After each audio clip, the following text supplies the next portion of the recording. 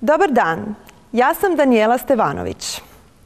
Naslov današnje lekcije je tetivni i tangencijalni četverokuti te pravilni mnogokuti. Tetivni četverokut. prisjetimo se za početak e, definicije tetive. Tetiva je dužina čije su završne točke na kružnici. Recimo dužina AB je tetiva. Tetivni četverokut sastoji se od tetiva. Njegove stranice su dakle tetive. Tetivnom četverokutu možemo opisati kružnicu.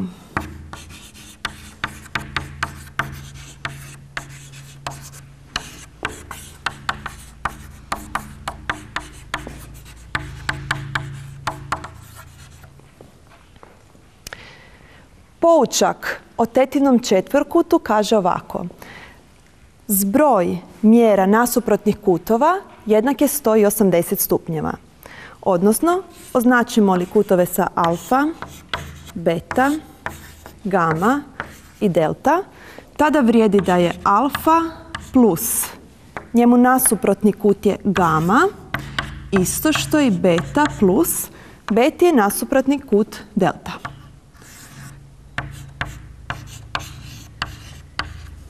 I svaki taj zbroj jednak je 180 stupnjeva. Vrijedi i obrnuto. Ako u nekom četverokutu znamo da je zbroj nasuprotnih kutova 180 stupnjeva, tada znamo da je riječ o tetivnom četverokutu, odnosno o četverokutu koje možemo opisati kružnicu. Već smo naučili što su to obodni i središnji kut. Ako to znamo, onda je lako za razumjeti ovaj poučak. Ovdje je središte kružnice. Uočimo da je svaki ovaj kut četverokuta tetivnog zapravo obodni kut nad nekom tetivom. Primjerice, kut alfa je obodni kut nad tetivom BD. Nacrtajmo i središnji kut nad tom istom tetivom. Tada je mjera tog središnjeg kuta dvostruko veća, 2 alfa. Gama je obodni kut nad tetivom BD, odnosno nad ovim lukom. Uočimo da je središnji kut nad tim lukom upravo ovaj ovdje. Te je njegova mjera opet dvostruko veća, iznosi 2 gama. Dvije alfe i dvije game zajedno čine puni kut, 360 stupnjeva. Podijelimo li ovo sa 2, dobit ćemo da je alfa plus gama upravo 180 stupnjeva. Na isti način možemo pokazati da su i beta i gama, odnosno njihov zbroj, upravo 180 stupnjeva. Pogledajmo sada što je to tangencijalni četverokut. Znamo da su tangente pravci koji dodiraju kružnicu samo u jednoj točki. Na primjer, produljimo li ovu dužinu, istaknimo ovaj pravac, to bi bila tangenta kružnice jer dodiruje kružnicu samo u ovoj točki F. E, tangencijalni četverokut je četverokut čije su stranice na tangentama.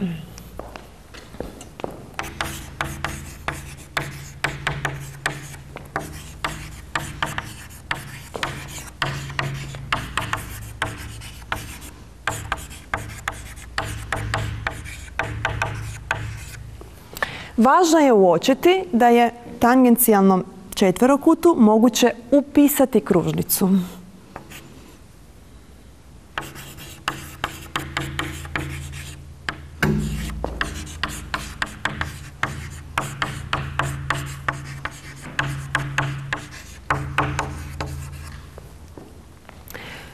Poučak o tangencijalnom četverokutu kaže da je zbroj duljina nasuprotnih stranica tangencijalnog četverokuta jednak.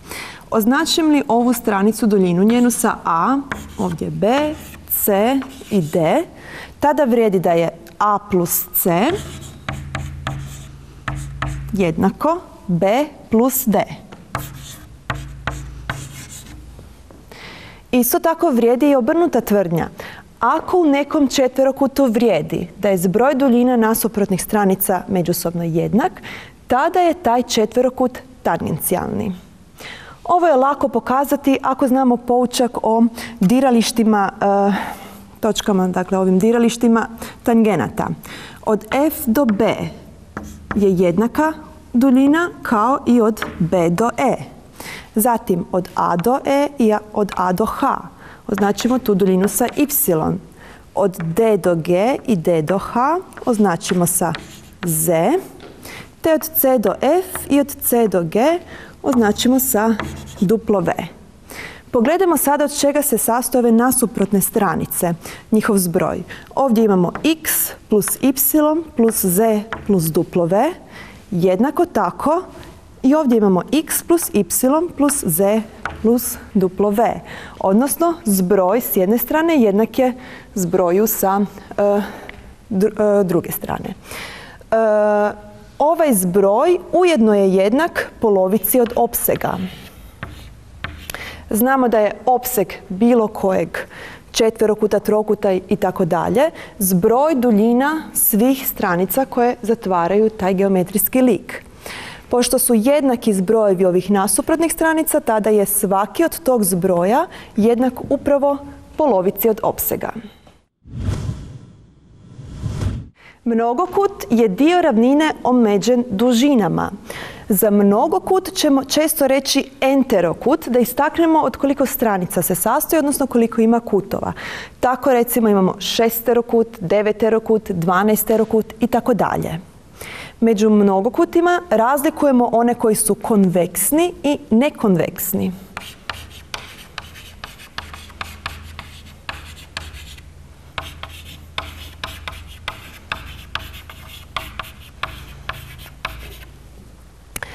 Ako u mnogokutu odaberemo dvije točke, bilo gdje, označit ću ih sad sa M i N. Te ako svaka spojnica za bilo koje dvije točke u tom mnogokutu također pripada tom mnogokutu, kažemo da je on konveksan. Ovdje možemo odabrati točke M i N, tako da kad povučemo spojnicu, ona ne pripada u potpunosti mnogokutu. Takav mnogokut je nekonveksan. Mi ćemo dalje proučavati samo konveksne mnogokute. Pogledajmo koliki je zbroj kutova u mnogokutu. Za trokut, ako pogledamo ovaj zapis enterokut, za trokut vrijedi da je n jednako 3 a znamo da je zbroj svih stranica u trokutu 180 stupnjeva. To smo naučili još u osnovnoj školi. Četverokut. Znači n je 4. Također znamo da u četverokutu je zbroj svih kutova 360 stupnjeva. Pogledajmo ovako, četverokut možemo podijeliti na dva trokuta. Zbroj ovih kutova znamo da je 180 stupnjeva, zbroj kutova u trokutu. Zbrojimo li ove preostale, to je još 180 stupnjeva. Dakle, imamo dva puta po 180, to jest sve skupa 360 stupnjeva. U peterokutu n je jednako 5, kojeg možemo podijeliti na tri trokuta uz pomoć ove dvije dužine, tada će zbroj svih kutova biti tri puta, tri trokuta, dakle tri puta po 180 stupnjeva, odnosno 540 stupnjeva. Ovdje smo jednom množili sa 180 stupnjeva, ovdje dva put, ovdje tri put. Svaki put za dva manje u odnosu na n. To jest, Zbroj kutova u mnogokutu određujemo uz pomoć formule. Od n oduzmemo 2 i pomnožimo sa 180 stupnjeva.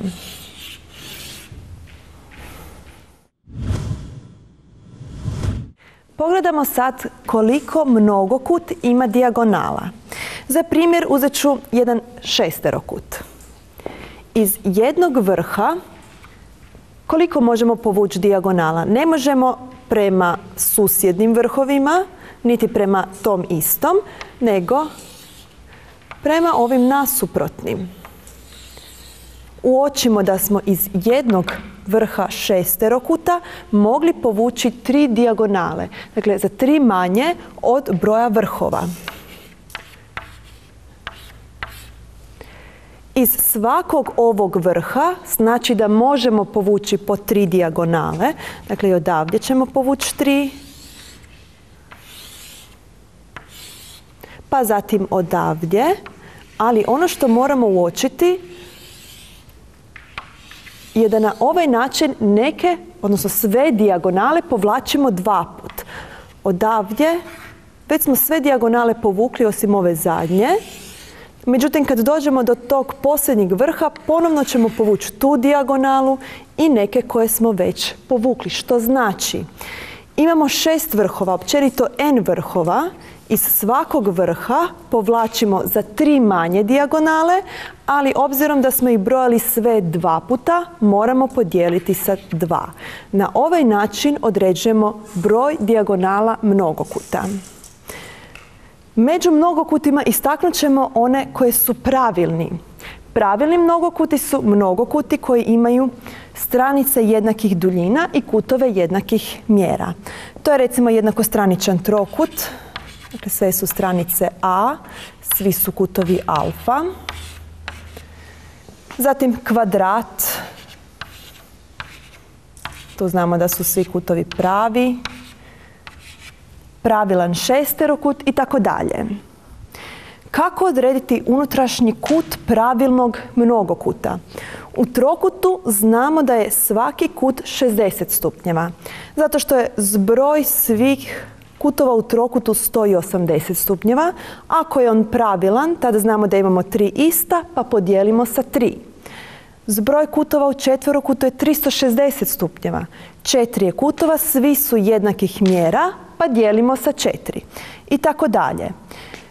Za mnogokut smo općenito rekli da se zbroj svih kutova određuje po formuli n-2 puta 180 stupnjeva. To su svi kutovi. Imamo ih u enterokutu n istih, pa moramo podijeliti sa n da bismo dobili mjeru jednog unutrašnjeg kuta, recimo ovog ovdje, kuta alfa. Svakom pravilnom mnogokutu može se opisati i upisati kružnica sa središtem u istoj točki. Istaknimo to središte ovdje. Tu je naznačena opisana kružnica nekom enterokutu. Sve ove stranice su međusobno jednakih duljina, ali nije naznačeno o kojem točno enterokutu je riječ, odnosno nije dovršen. Jednako tako mogli bismo mu ovdje upisati kružnicu, čije bi središte bilo ovo isto. Kad proučavamo mnogo kute, uvijek istaknemo jedan karakterističan trokut.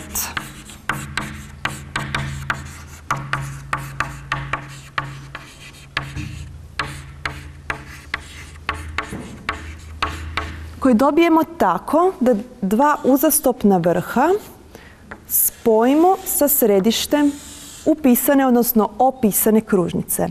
Taj karakterističan trokut je uvijek jednako kraćan. Krakovi su mu polumjeri opisane kružnice, pa ću označiti to sa velikim R.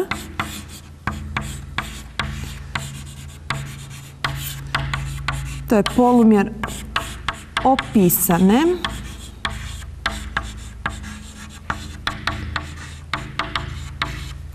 kružnice.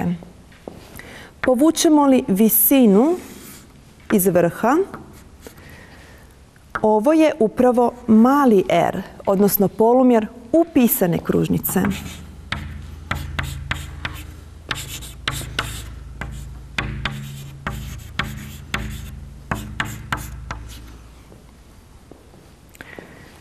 Stranica općenito se označava sa A, a obzirom na to da je riječ o jednako kraćnom trokutu, tada znamo da visina na osnovicu dijeli tu osnovicu na dva jednaka dijela. Istaknut ću taj trokut sa strane. Ovo je veliki R, ovo je mali R koji dijeli osnovicu na A pola i A pola. Dva jednaka dijela. Zatim, ovaj gornji kut, označit ću ga sa fi, to je ovaj ovdje kut. Svi takvi kutovi zajedno, a u enterokutu ih imamo n, kad bismo spojili središte sa svakim, e, svakim ovim vrhom, dobili smo n takvih kutova koji zajedno daju 360 stupnjeva. Prema tome, kut fi se računa kao 360 stupnjeva podijeljeno sa n. I istaknimo još ovaj kut, to je općenito kut alfa, unutrašnji kut, već smo rekli da se kut alfa u pravilnom enterokutu računa preko formule n-2 puta 180 stupnjeva podijeljeno sa n. Možemo izračunati opseg i površinu pravilnog enterokuta na ovaj način. Opseg se sastoji dakle, od zbroja svih stranica koje zatvaraju taj mnogokut. One su sve jednakih duljina i ima ih sve skupa n, pa pišemo općenito da je opseg jednako n puta a. Zbrali bi a plus a plus a, imamo ih n, pa je to onda ovaj umnožak. Površina. Za površinu će nam biti važan ovaj ovdje trokut. Uočimo da se svaki enterokut sastoji od n ovakvih trokuta. Što znači da će površina od enterokuta biti n puta površina od ovog karakterističnog trokuta. Površina od trokuta se računa kao stranica puta visina na tu stranicu podijeljeno sa 2, a to će ovdje biti stranica a puta visina je ujedno polumjer upisane kružnice i podijeljeno sa 2. Na taj način računamo opseg i površinu od pravilnog enterokuta. Završili smo s lekcijom i počnimo sada sa zadacima. U prvom zadatku trebamo odrediti nepoznate kutove. Uočimo da je u sva tri primjera riječ o tetivnom četverokutu, odnosno četverokutu čije su stranice tetive. Znamo da prema poučku o tetivnom četverokutu vrijedi da je zbroj nasuprotnih kutova 180 stupnjeva. Prema tome ovdje imamo alfa plus 75 stupnjeva je 180 te je alfa 180 stupnjeva minus 75 odnosno 105 stupnjeva. Jednako tako je beta plus 92 stupnja 180 zbroj nasuprotnih. Beta je 180 minus 92 stupnja te iznosi 88 stupnjeva. Pogledajmo sljedeći primjer.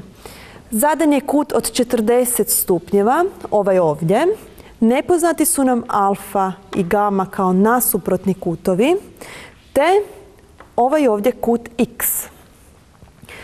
Uočimo ovdje da je kut x obodni kut nad promjerom kružnice.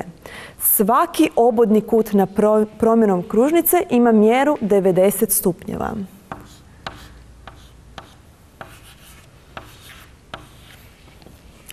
Ako je mjera x 90 stupnjeva, znamo da je zbroj kutova u trokutu, a ovdje možemo istaknuti trokut sa vrhovima a, b i c, vrijedi da je x plus alfa plus 40 stupnjeva 180 stupnja.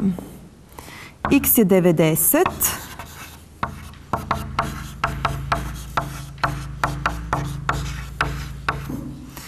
te je alfa jednako 180 stupnjeva minus 90 plus 40 je 130, sa druge strane minus 130 stupnjeva, te je mjera ovog kuta 50 stupnjeva. A sad, alfa i gama su nasuprotni kutovi u e, tetivnom četverokutu, te je taj zbroj jednak 180 stupnjeva. Gama je tada 180 stupnjeva minus alfa, odnosno minus 50. Vrijednost od game je 130 stupnjeva. Pogledamo sad još ovaj zadnji primjer.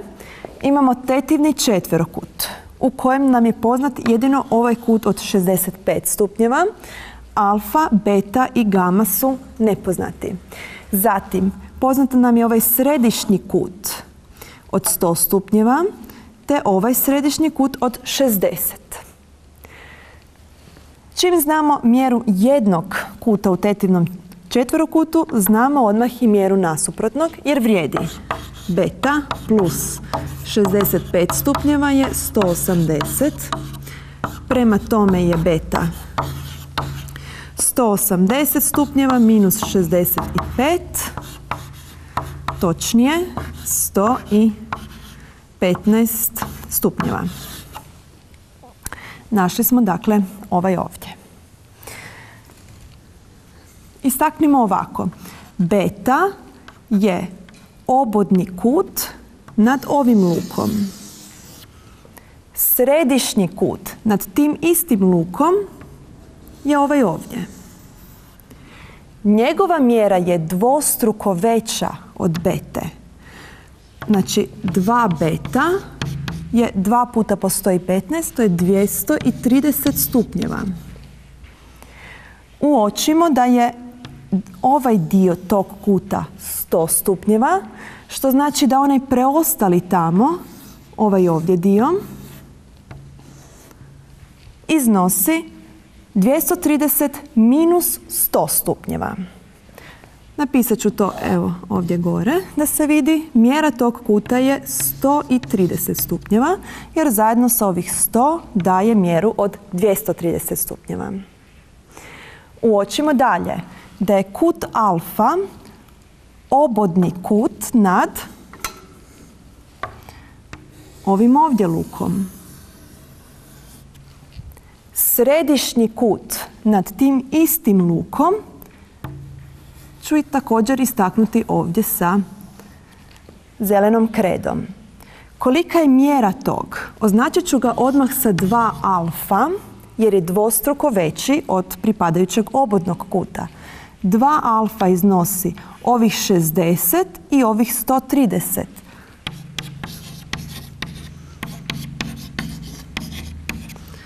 Točnije, 2 alfa je 190 stupnjeva.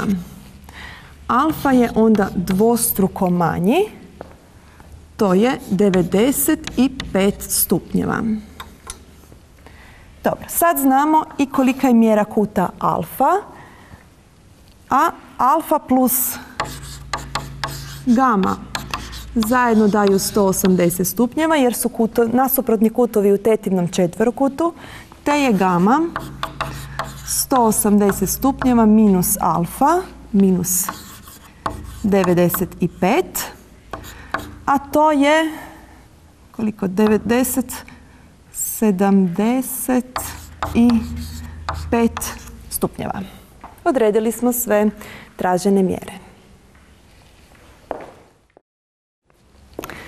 Nadam se da ste vi ovo točno riješili, međutim, ja sam ovdje pogriješila. 180 minus 95, to je 85 stupnjeva. Sada je zadatak gotov. U drugom zadatku uočimo da je riječ o tangencijalnim četverokutima, odnosno četverokutima čije stranice leže na tangentama kružnice. Znamo da za takve četverokute vrijedi da je zbroj duljina nasuprotnih stranica jednak. Prema tome, 4 i 3,4, ovaj zbroj znamo izračunati, mora biti jednak zbroju d plus 3,8 i odavdje ćemo odrediti duljinu stranice d. Pišemo d plus 3,8 je isto što i 4 plus 3,4. D je jednako, ovo ćemo zbrojiti, to je 7,4 i još moramo oduzeti ovih 3,8. Pa je onda D jednako, imamo 6 i 8, 14, 4, dakle 3,6 cm. U sljedećem primjeru zadan je trapez i to jednako kraćan trapez. Uočimo da su krakovi jednakih duljina označeni sa B. Zatim, ovdje je istaknuta dužina koja povezuje polovišta, je ovo P1 i P2, dužina koja povezuje polovišta od krakova. Tu dužinu zovemo srednjica. Njezina je duljina jednaka aritmetičkoj sredini od duljina osnovica e, trapeza. Srednicu ću označiti sa S. S općenito računamo kao A plus C podijeljeno sa 2. Poznat nam je A, A je 5,2. Poznato nam je S, jedina nepoznanica ovdje nam je C, te možemo je odrediti iz ove jednakosti. Pomnožit ću prvo sa 2, pa imamo 2s jednako a plus c. Premjestit ću a na lijevo. 2s minus a jednak je c. Ili ako pročitamo sa suprotne strane, c je isto što i 2 puta s minus a. Uvrstimo sada brojeve. 2 puta 4 to je 8 minus a je 5,2 pa nam c iznosi 2,8 cm. Upisana je kružnica ovom četverokutu, te je riječ o tangencijalnom četverokutu, za kojeg vrijedi da je zbroj duljina nasuprotnih stranica jednak. b plus b, odnosno 2b, je isto što i a plus c.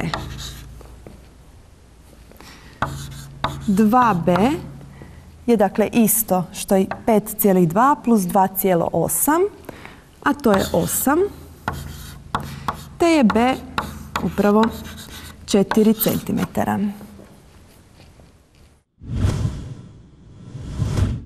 Nastavimo sa sljedećim zadatkom u kojem piše da treba odrediti kutove tetivnog četverokuta, ako vrijedi da je alfa naprama gama 4 naprama 5 i beta naprama delta 1 naprama 2.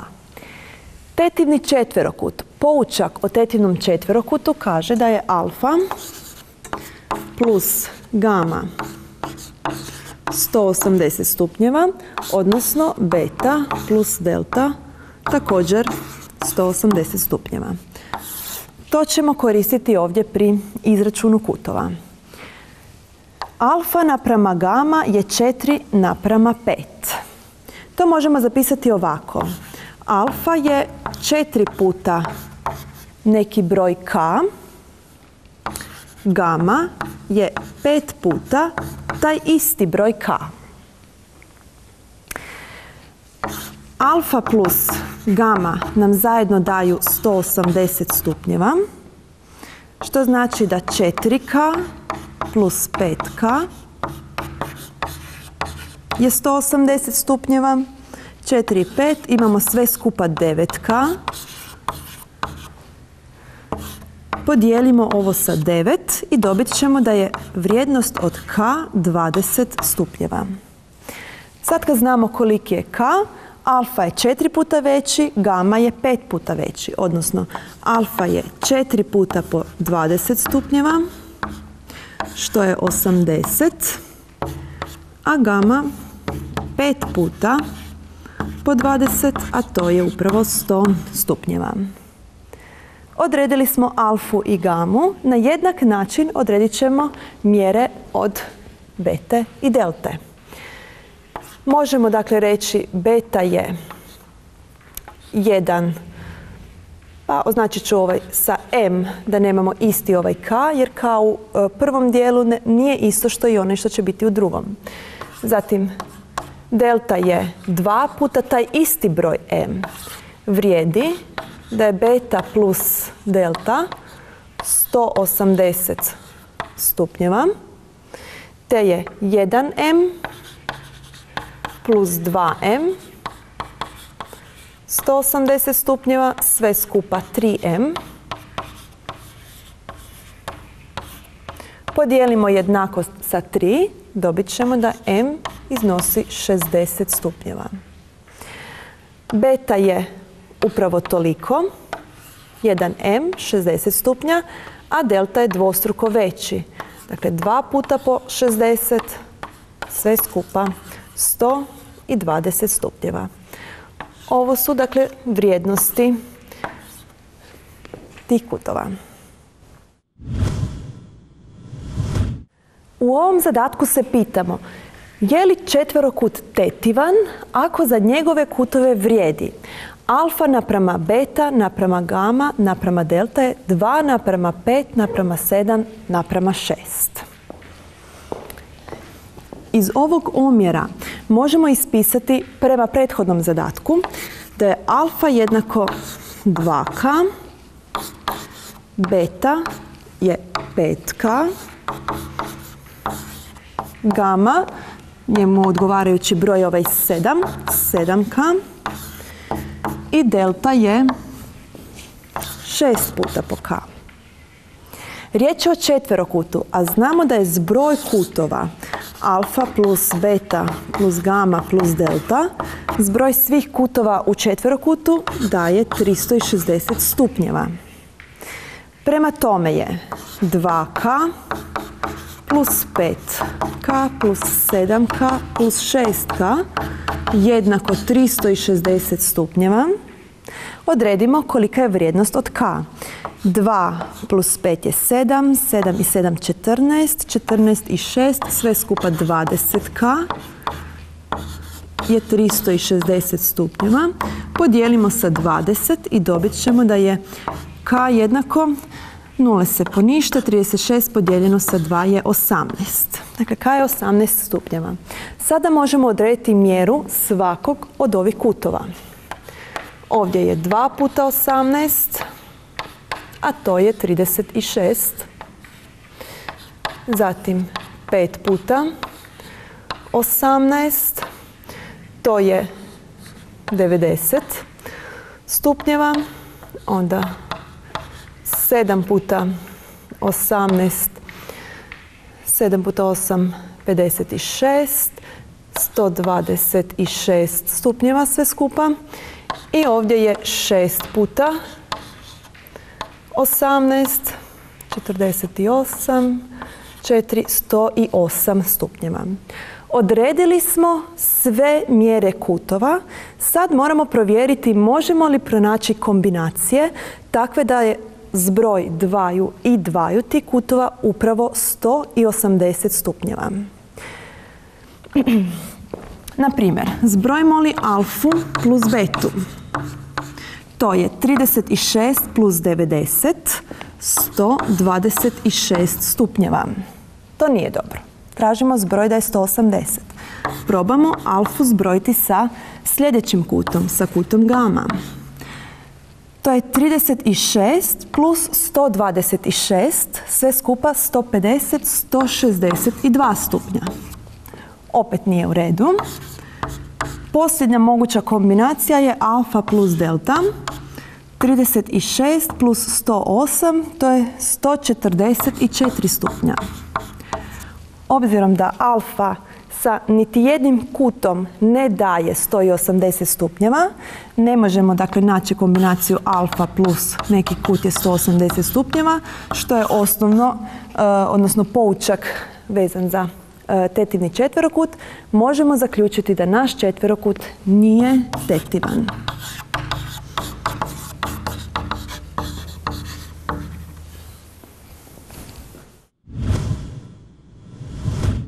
U petom zadatku zadan je opseg tangencijalnog četverokuta i duljine dviju njegovih stranica. treba odrediti duljine ostalih dviju stranica. Opseg je dakle 88 cm. Riječ je o tangencijalnom četverokutu u kojem znamo da vrijedi da je A plus C isto što i B plus D. Pri tom moramo imati na umu koje su to stranice ovdje zadane. Neka je ovo skica jednog tangencijalnog četverokuta. To je četverokut kojem se može upisati kružnica. Odredit ću, odnosno zapisat ću vrhove A, B, C, D, stranice A, B, C i D. Za tangencijalni četverokut vrijedi zbroj duljina nasuprotnih stranica je međusobno jednak. Osim toga, zbroj tih duljina jednak je točno polovici od opsega. Dakle, vrijedi da je A plus C ili B plus D točno pola od 88 44 cm. Na temelju toga možemo zaključiti o kakvim je ovdje stranicama riječ, susjednim ili nasuprotnim. Obzirom na to da je zbroj 22 plus 33 jednako 55, što je različito od ovih 44, ne može nikako biti riječ o nasuprotnim stranicama, već o susjednim. Recimo stranici A i B ili A i D. Pretpostavit ću da su zadane A stranica i B stranica. Odabir neće utjecati na sam zadatak. Važno je samo da pazimo da smo uzeli susjedne stranice. Sad kad znamo A i B, iz ove jednakosti odredit ćemo kolike su preostale dvije vrijednosti C i D. Vrijedi da je A plus C pola od opsega, odnosno 44. C je onda 44 minus A, a to je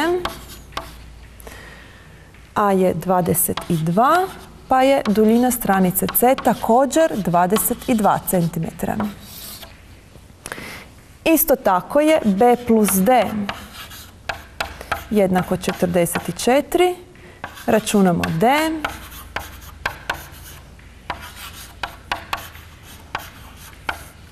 Oduzimamo 33 i dobit ćemo da je D 11 cm.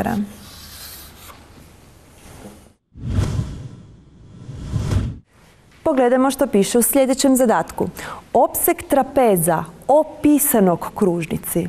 Dakle, ako je trapez opisan kružnici, znači da je kružnica upisana tom trapezu. Napravimo za početak odmah skicu.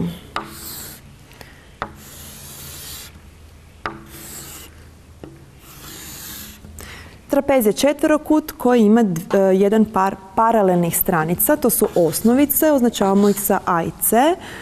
Preostale stranice zovemo krakovi i označavamo sa B i D. Trapez je opisan kružnici, znači da se kružnica nalazi ovdje negdje iznutra. Te je riječ o tangencijalnom četverokutu.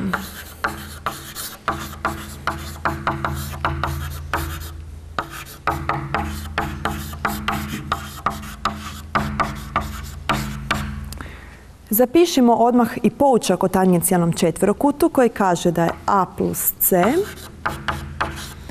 jednako B plus D. Osim toga, znamo da je svaki taj zbroj jednak polovici od opsega. Da vidimo što nam je zadano. Opseg je 32 cm.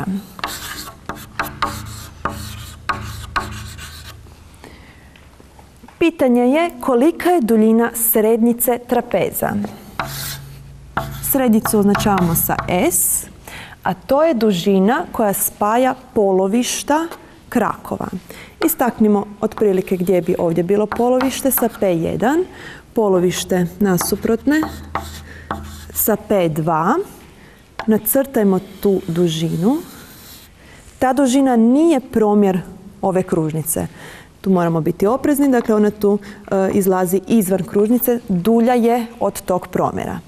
Ovo je srednjica, ona je paralelna, odnosno leži na paralelnim pravcima u odnosu na osnovice A i C, a njezina duljina je upravo aritmetička sredina od duljina srednjica. To je računamo je kao A plus C kroz 2. Zadan je opseg. Ne možemo odrediti točno kolika je duljina stranice A ili stranice C, ali možemo odrediti koliko je to A plus C. To je polovica od opsega. Opseg nam je 32, te A plus C iznosi 16 cm. Dovoljno nam je znati zbroj da bismo odredili duljinu od srednjice. A plus C smo izračunali da je 16, te duljina srednice 8 cm.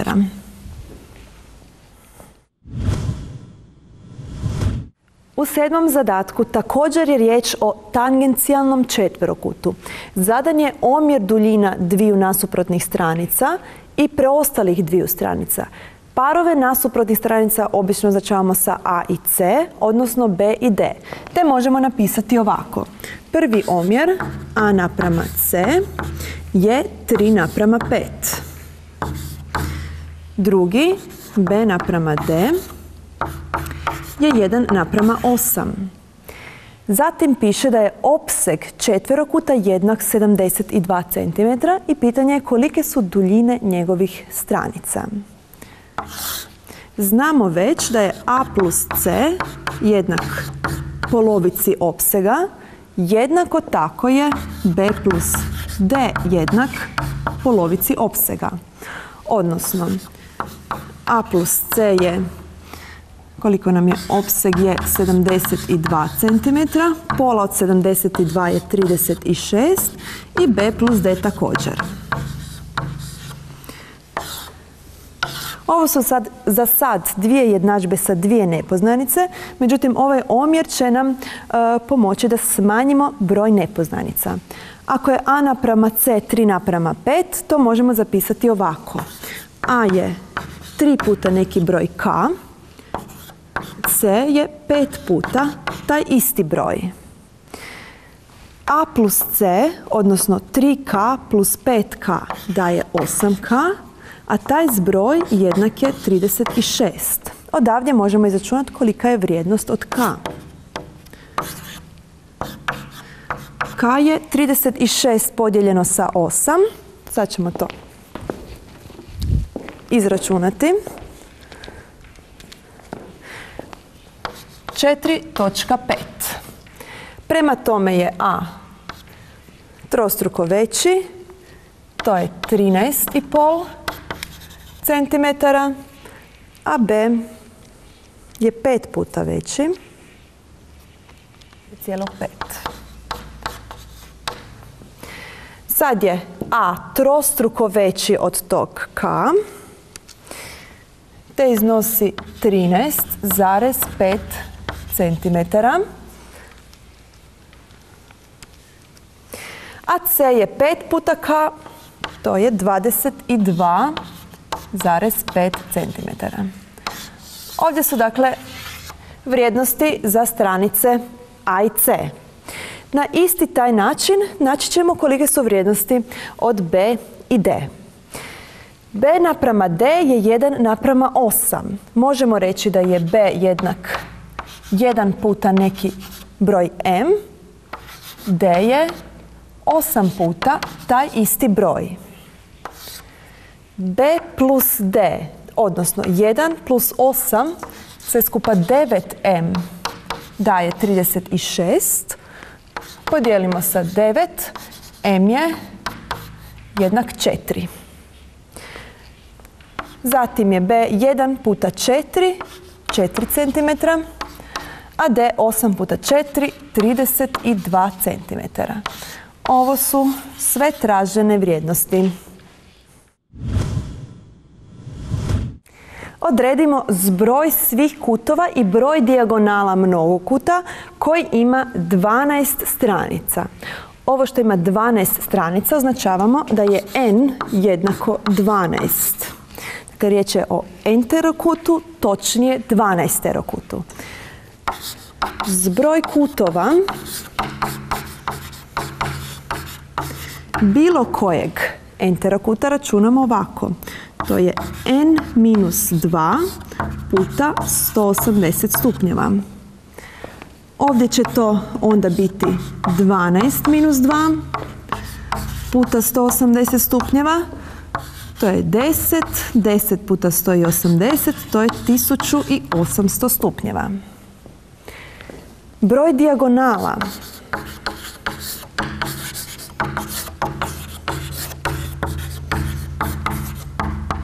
Rekli smo da određujemo uz pomoć formule n puta n minus 3 i podijeljeno sa 2. Pa uvrstimo n. 12 puta 12 minus 3 je 9 podijeljeno sa 2. 2 i 12 možemo pokratiti sa 2, tu će nam ostati 6, ovdje 1. I sad imamo 6 puta 9 jednako 54. Znači ukupan broj dijagonala u 12 terokutu je 54.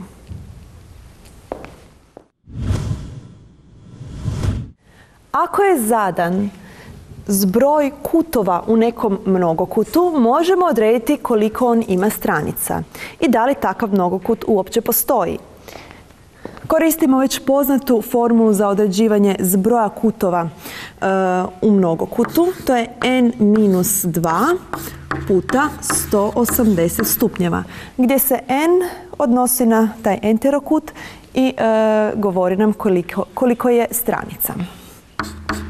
Ovaj zbroj iznosi 2700 stupnjeva. Riješimo ovu jednadžbu. Imamo ovako, možemo podijeliti sve sa 180.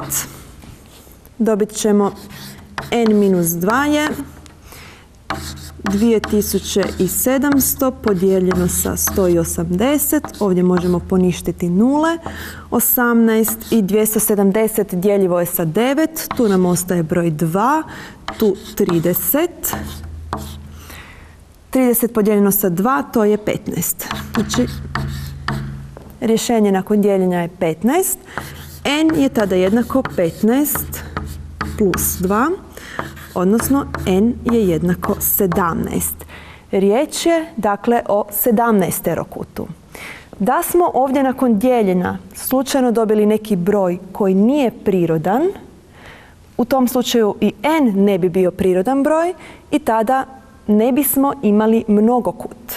Dakle, broj stranica mora uvijek biti izražen sa prirodnim brojem, većim od 2. Jednako tako, ako je zadan broj dijagonala, možemo odrediti o kojem je mnogokutu riječ, odnosno koliko on ima stranica. Broj dijagonala je 90. Određujemo ga inače prema formuli n puta n minus 3 podijeljeno sa 2. Pomnožimo sa 2 ovu jednadžbu, dobit ćemo n puta n minus 3 jednako 180. To jest n na kvadrat minus 3n je 180. n na kvadrat minus 3n minus 180 jednako 0. Riječ je o jednoj kvadratnoj jednadžbi. Ovdje ćemo morati napraviti faktorizaciju. Moramo naći dva broja koja kad se zbroje daju vrijednost minus 3, a kad se pomnože daju vrijednost minus 180. Po ovome možemo zaključiti da će biti riječ o jednom pozitivnom i jednom negativnom broju, jer njihov umnožak mora biti negativna vrijednost. Olakšat će nam, obzirom da tražimo umnožak, to da nađemo koji su faktori u broju 180. Pa napravimo faktorizaciju. 180 možemo podijeliti sa 2, pa još jedan put sa 2, pa onda sa 5, sa 3 i još sa 3. Dakle, kako faktoriziramo? Dijelimo sa 2, ovdje pišemo ostatak. Zatim opet dijelimo sa 2, 90 sa 2 je 45. 45 podijeljeno sa 5 je 9. Dijelimo samo sa prostim faktorima, odnosno sa brojevima koji su dijeljivi jedino sa 1 i sa samim sobom. Gotovi smo u onom trenutku kad dođemo do broja 1 sa lijeve strane. Dakle, broj 180 je umnožak ovih pet faktora. Od tih pet morat ćemo pomnožiti ih malo međusobno i dobiti dva broja koja kad se zbroje moraju dati broj minus 3, odnosno razlika među tim brojevima mora biti minus 3. Pa pogledajmo ovako. Ako pomnožimo recimo najveći ovaj 5 sa 3, dobit ćemo broj 15. A pomnožimo li ova preostala tri broja, dakle 2, 2 i 3, 2 puta 2 je 4, 4 puta 3 je 12. Razlika od 12 do 15 je upravo broj 3. Dakle, to su oni brojevi koje tražimo. 12 plus minus 15, rekli smo već da mora biti jedan pozitivan, a jedan negativan, daju minus 3. 12 puta minus 15 nam daju minus 180. To nam vrijedi zbog one faktorizacije. To znači da ćemo ovaj minus 3 rastaviti ovako. n na kvadrat plus 12n minus 15n minus 180 jednako 0. Minus 3n smo nastavili na plus 12n minus 15n. Sad ćemo iz prva dva broja izlučiti ono što možemo, to je broj n. Od prvog člana n na kvadrat podijeljeno sa n ostaje nam n plus 12n podijeljeno sa n ostaje nam broj 12. Zatim od sljedeća dva izlučit ćemo minus i 15 i 180 su dijeljivi sa 15 pa možemo izlučiti taj broj. Što će nam ostati? 15n, izlučili smo 15, ostaje nam n. Ovdje je minus, međutim minus smo izlučili pa moramo napisati plus. 180 podijeljeno sa 15, pokazali smo da je to upravo broj 12. Nakon ove prve faktorizacije dobivamo iste izraze ovdje u zagradama, te od ova dva člana možemo izlučiti n plus 12. U drugu zagradu onda pišemo što nam je ostalo. Od prvog, nakon izlučivanja n plus 12, ostaje nam n. Zatim prepisujemo minus. Od drugog, nakon izlučivanja zagrade, ostaje nam broj 15. I dobili smo ovako. Zagrada puta druga zagrada jednako je nula. Umnožak dviju zagrada daje nula ako je barem jedna od njih jednaka nuli. Te pišemo, svaku posebno izjednačavamo s nulom, n plus 12 jednako nula i n minus 15 jednako nula. Tako smo dobili dvije jednadžbe i svaka od njih će nam dati po jedno rješenje n je jednako minus 12 i n je jednako 15. Ovo su moguća rješenja, to jesu rješenja ove jednadžbe, ali moramo se zapitati jesu li rješenja našeg zadatka. Pitanje je koliko mnogokut ima stranica. Ovaj n predstavlja broj stranica. Naravno da ne možemo reći da je broj stranica minus 12, nekakav negativan broj, ali možemo reći da je broj stranica 15, te je dakle riječ o 15 terokutu. Odredimo opseg i površinu pravilnog mnogokuta ako je zadano n je 10, dakle riječ je o 10 terokutu, polumjer veliki R, znači da je riječ o polumjeru opisane kružnice je 13 cm i A je 8 cm. Ono što nam treba kad računamo općenito e, sa pravilim e, mnogokutima, crtamo jedan karakterističan trokut. Znamo da je taj trokut jednako kraćan i on se sad dalje širi u taj enterokut, što nije potrebno sve crtati u detalje. To je središte, ovo su polumjeri opisane kružnice. Povucimo visinu, označavamo je sa malim r jer je ona polumjer upisane kružnice. Stranica je označena sa a. Prisjetimo se kako računamo opseg i površinu pravilnog mnogokuta. Opseg je n puta duljina stranice. Površina je n puta površina ovog jednog karakterističnog trokuta, a njegova površina se računa kao a puta r podijeljeno sa 2. Pogledajmo što nam je zadano. n znamo, znamo duljinu stranice a, prema tome znamo odrediti opseg. Za površinu nam je potrebno još odrediti kolika je duljina ovog polumjera r. Izračunajmo opseg. To je 10 puta 8. Opseg je 80 cm. Odredimo sad kolika je duljina ove stranice R. Uočimo ovdje pravokutan trokut. Ova stranica je mali R, hipotenuza je veliki R, to je pravi kut, a ovdje je A pola. Mali R je kateta, te prema Pitagorinom poučku vrijedi R na kvadrat je hipotenuza na kvadrat minus druga kateta na kvadrat. Uvrstimo.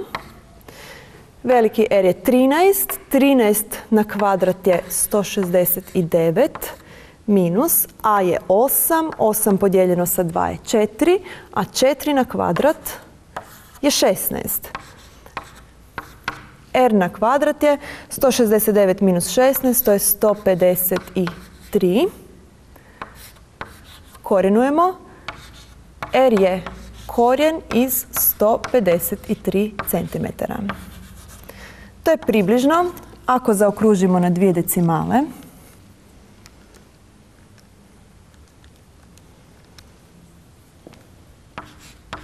12,369 što zaokružujemo na 3,7 cm.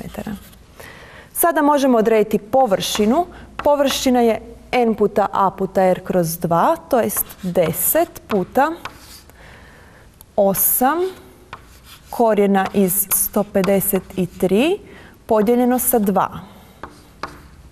Skratimo 2 i 8, ovdje je vrijednost 4, 10 puta 4 to je 40 korijena iz 153 centimetara kvadratnih ili približno ako uvrstimo ovu vrijednost 494,772, dakle zaokruženo na dvije decimale, 77 centimetara kvadratnih. Odredimo opseg i površinu pravilnog mnogokuta ako je n jednako 6 i a jednako 8. Nacrtat ću opet karakterističan trokut te naznačiti da se on dalje širi u enterokut, točnije šesterokut. Označit ću A, R, R kao do sada. Zadano je da je n jednako 6 i a je 8 cm. Uočimo da u ovom zadatku imamo nešto manje podataka nego u prošlom. Nije nam zadan niti polumjer opisane kružnice, niti polumjer upisane kružnice. Međutim, riječ je o šesterokutu. U tom slučaju i inače možemo odrediti kolika je mjera ovog e, središnjeg kuta nad jednom stranicom. Taj kut uvijek računamo kao 360 stupnjeva podijeljeno sa n. U ovom slučaju 360 stupnjeva dijelimo sa 6 te ćemo dobiti 60 stupnjeva. Mjera ovog kuta je 60 stupnjeva, a obzirom na to da je riječ o jednako kračnom trokutu, znamo da mjere ovih dvaju moraju biti jednake, te imamo tri kuta od 60 stupnjeva, to jest riječ je o jednako straničnom trokutu. Prema tome, nema potrebe nazivati ove stranice sa oznakom R. R je upravo jednak duljini stranice, jednak je A. Trebamo odrediti opseg i površinu. Opseg je kao i do sada n puta a. To će biti 6 puta 8, odnosno 48 cm. Površinu, rekli smo općenito, računamo kao n puta a puta r kroz 2. Ovo je općenita formula. Mogli bismo računati kolika je duljina ovog polumjera r po Pitagorinom poučku kao u prošlom zadatku. Međutim, ovdje površinu mnogokuta možemo izračunati kao n puta površina jednakostraničnog trokuta. A znamo da se površina jednakostraničnog trokuta računa uz pomoć formule a na kvadrat korijen iz 3 kroz, 2, e, kroz 4.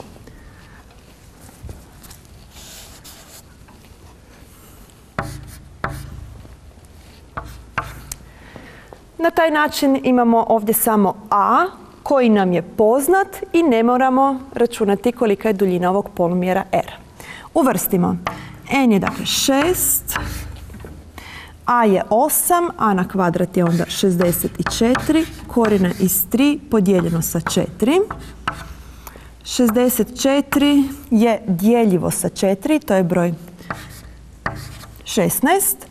16 puta 6, 6 puta 6 je 36, odnosno sve skupa 96 korijena iz 3 cm kvadratnih.